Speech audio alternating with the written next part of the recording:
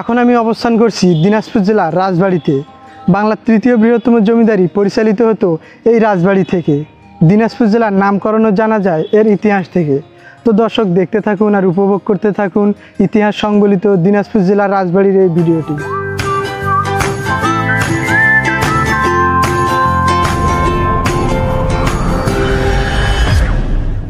আমরা এসে গেছি দিনাজপুর কেন্দ্রীয় বাস টার্মিনালে। এখান থেকে কি রাজবাড়িতে যাওয়া যাবে? জি, খুব সহজেই রাজবাড়ি যেতে পারবেন।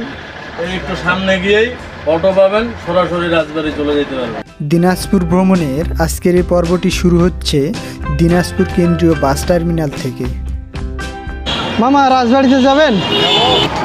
এখান থেকে আপনারা খুব সহজেই অটোযোগে রাজবাড়িতে যেতে পারবেন।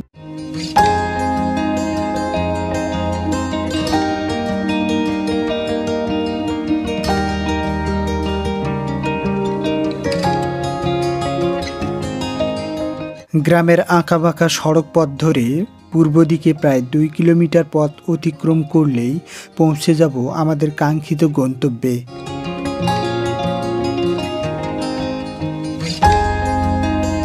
সামনে যে উঁচু ফটকটি দেখতে পাচ্ছেন, এটি রাজবাড়ির বর্তমান প্রধান ফটক। এই ফটক দিয়ে আমরা এখন ভিতরের দিকে প্রবেশ করব। শুনলাম এখানে নাকি সুন্দর একটি মন্দির আছে। অনেকের আনাগোনা দেখে তা অবশ্য আন্দাজও করতেছিলাম। প্রাকৃতিক সৌন্দর্য আর রাজবাড়ি রাজবাড়ি ভাব, এখানকার মানুষের আন্তরিকতা, সব মিলিয়ে মনে হচ্ছে ভ্রমণটি আজ ভালোই জমবে। যারা নতুন দর্শক রয়েছেন, চ্যানেলটি সাবস্ক্রাইব করবেন আর সাথে থাকা বেল আইকনটি বাজিয়ে দিবেন, যাতে করে পরবর্তী আপডেটগুলো সবার আগে পেতে পারেন। আর যারা অলরেডি সাবস্ক্রাইব করেছেন, তাদেরকে অসংখ্য অসংখ্য ধন্যবাদ। আমার পিছনে যে দেউড়িটি দেখতে পাচ্ছেন, এটি সিংহ দেউড়ি নামে পরিচিত। এরকম অন্তত ছয়টি দেউড়ি এ রাজবাড়িতে রয়েছে। দেউড়ি শব্দ মূলত ফার্সি শব্দ থেকে এসেছে, এর অর্থ হলো দরজা। তো দর্শক, চলুন ভিতরের দিকে যাওয়া যাক।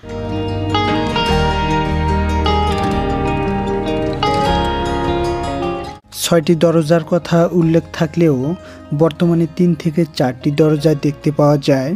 বাকিগুলো কালের আবর্তে ধ্বংসপ্রাপ্ত হয়ে গেছে। শুরুতে হাতের ডান পাশে দুর্গা মন্দিরের সদর দরজা এবং বাম পাশে কালিয়াজিউ মন্দিরের সদর দরজা দেখতে পাবেন। হিন্দু ধর্মের অনেকে এসেছেন মন্দিরটিতে পুজো দেওয়ার জন্য। ভিতরের দিকটা এখন আপনাদের দেখানোর চেষ্টা করব। আঙ্কেল কেমন আছেন? ভিতরে যাওয়া যাবে? আচ্ছা ঠিক আছে। পাথর দ্বারা নির্মিত, সুদৃঢ় আর চমৎকার কারুকার্যের ফটকটি সত্যিই অসাধারণ।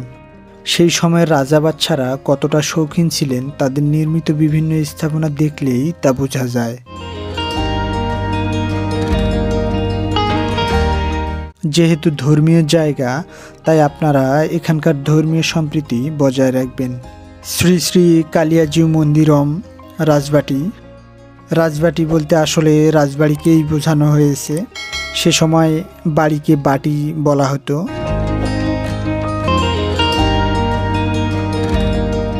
মন্দিরের এই ছোট ছোট কক্ষগুলোতে দূর দূরান্ত থেকে আসা ভক্তরা আশ্রয় নেন। এবং পাশে এই জায়গাটিতে খুব সম্ভবত ওনাদের ধর্মীয় কীর্তন করা হয়। তো আমরা একটু দেখি মন্দিরটি কেমন। সতেরোশো শতকে নির্মিত কালিয়াজিউ মন্দির শ্রীকৃষ্ণের উদ্দেশ্যে নিবেদিত। জন্মাষ্টমীর দুই দিন আগে ষষ্ঠীতে কান্তজিউ মন্দিরের রুক্মিণীকান্ত বিগ্রহ বা মূর্তিকে এই মন্দিরে নিয়ে আসা হয়। অতীতে ময়ূরপঙ্খী নৌকায় চড়ে ঢ্যাপা নদী হয়ে এরপর সড়ক পথে পদব্রজে চতুর্দোলায় মানে সেই সময়ের বিশেষ পালকিতে করে জাঁকজমকপূর্ণ শোভাযাত্রা করে এই মূর্তি আনা হতো। বর্তমানে এই প্রথা প্রচলিত থাকলেও সেই বিশেষ ময়ূরপঙ্খী নৌকার কোনো অস্তিত্ব নেই।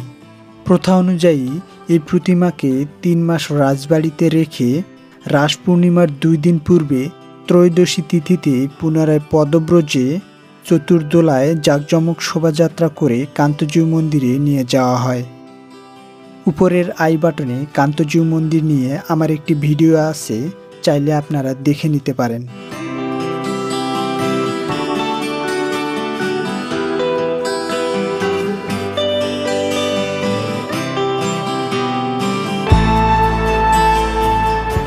লোকশ্রুতি অনুযায়ী জনৈক দিনাজ বা দিনারাজ এ রাজবংশের প্রতিষ্ঠাতা।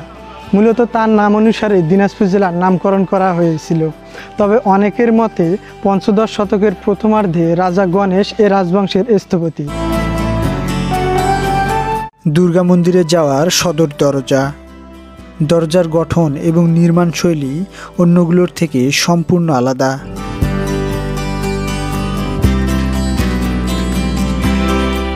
স্থানীয়দের থেকে জানতে পারলাম, এখানে দিনাজপুরের সব থেকে বড় পরিসরে দুর্গাপূজা করা হয়।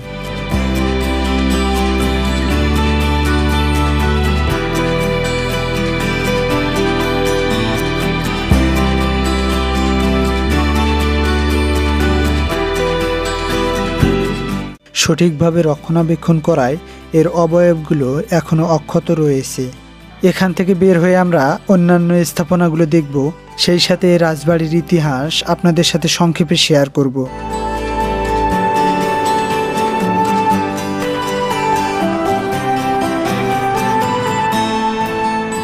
রাজবাড়ির প্রবেশমুখে সাজানো গোছানো যে আঙ্গিনা থাকে, তা সদর মহল। আয়না মহলের প্রবেশপথ, মূর্তি ফোয়ারা, বাগবাগিচা দ্বারা এই মহল সুসজ্জিত। কালের করাল গ্রাসে এসব আজ অতীত, হারিয়ে গেছে সবই। ষাটের দশক পর্যন্ত কোনো রকমের টিকে ছিল। পাকিস্তানি আমলে সরকারি আদেশে এখানে এতিমখানা প্রতিষ্ঠা করা হয়। চলুন, এখন আমরা রাজবাড়ির ভিতরে প্রবেশ করি। ধ্বংসপ্রায় এ ভবনটি ছিল আয়নামহল। কে বলবে এখান থেকে বিশাল এ জমিদারি পরিচালিত হতো। বাড়ি আছে রাজা নেই নেই তাদের জমিদারি। ভিতরটায় একদম ভুতুড়ে পরিবেশের মতো হয়ে গেছে। ছোট ছোট আগাছা আর লতা পাতায় ছেয়ে গেছে পুরো বাড়িটি।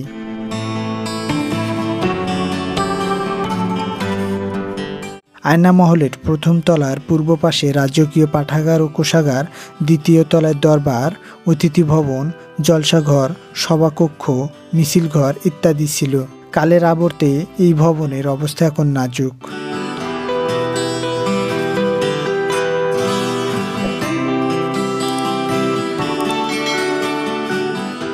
আয়না মহলের দক্ষিণ বাহুতে দরবার কক্ষ বা খাস কামরা।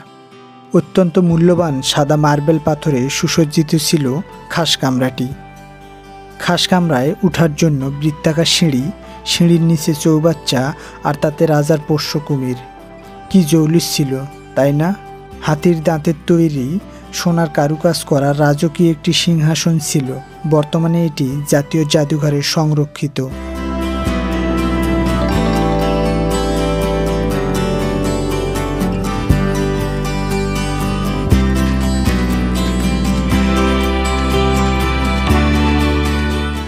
মুঘল সম্রাট আকবরের শাসনামলে ব্রহ্মচারী ও মহন্ত হিসেবে পরিচিত কাশী ঠাকুর দিনাজপুর ও মালদা জেলায় বিস্তীর্ণ অঞ্চলের অধিকারী হন। তিনি নিজেকে রাজা গণেশের বংশোদ্ভূত বলে দাবি করতেন। জানা যায়, তিনি তার পুরো সম্পত্তি তার প্রিয়ভাজন কায়স্থ শ্রীমন্ত দত্ত চৌধুরীকে উইল করে দিয়ে যান। পরবর্তীকালে এই সম্পত্তি শ্রীমন্তের দৌহিত্র সুখদেব উত্তরাধিকার সূত্রে লাভ করেন। তিনি রংপুর, বগুড়া দিনাজপুর, মালদা জেলায় প্রতিষ্ঠিত জমিদারির উত্তরাধিকারী হন। বিশাল এ জমিদারি বিবেচনায় ষোলোশো সাতাত্তর খ্রিস্টাব্দে সম্রাট আওরঙ্গজেব তাকে রাজা উপাধিতে ভূষিত করেন। ষোলোশো বিরাশি খ্রিস্টাব্দে তার কনিষ্ঠ পুত্র প্রাণনাথ রায় এ রাজপরিবারের স্থলাভিষিক্ত হন। তিনি ছিলেন এই রাজপরিবারের সবথেকে জনপ্রিয় এবং শক্তিশালী রাজা।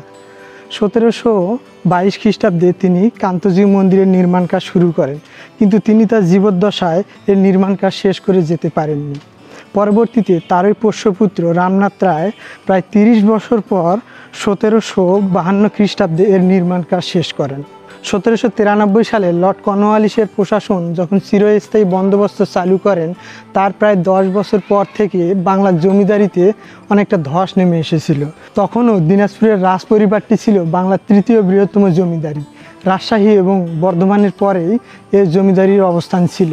সতেরোশো আটানব্বই সালে প্রচণ্ড খরা, সন্ন্যাসী বিদ্রোহ ইস্ট ইন্ডিয়া কোম্পানির কালেক্টরেটদের সাথে জমিদারদের দ্বন্দ্ব এবং সময় মতো রাজস্ব পরিশোধ করতে না পারায় রাধানাথের শাসনামলে এই জমিদারি নিলামে উঠেছিল। তারপর নামমাত্র এই জমিদারির মসনদে বসেন মহারাজা গিরিজানাথ এবং তার পোষ্যপুত্র Jagadishnath. East Bengal estate acquisition act উনিশশো পঞ্চাশ অনুসারে জমিদারি প্রথা বিলুপ্ত হওয়ার পরে এ বংশের অনেকেই কলকাতায় পাড়ি জমান। এবং সেখানে উনিশশো বাষট্টি খ্রিস্টাব্দে জগদীশনাথের মৃত্যু হয়।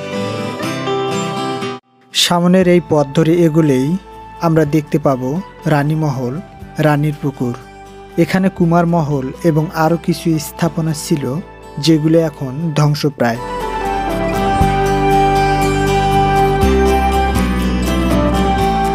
সাদা রঙের যে ভবনটি দেখতে পাচ্ছেন, এটি ছিল রানীমহল।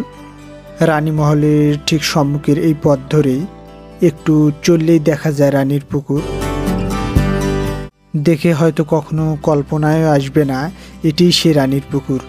কচুরিপানা শ্যাওলায় ভরে আছে পুরো পুকুর। কিছু মানুষ সেখানে মাছও ধরতেছিল। দেখতে পাচ্ছেন পুকুর ঘাট। রানীরা স্নান সেরে সামনের যে ঘরটি রয়েছে, এখানে হয়তো পোশাক পরিবর্তন করতেন। ইটের প্রাচীর। মূলত রানীমহলকে সুরক্ষিত রাখার জন্যই এই প্রাচীরগুলো দেওয়া হয়েছিল। তো আজকের মতো এখানেই শেষ করছি। দেখা হবে নতুন কোনো ভিডিওতে, নতুন কোনো জায়গায়।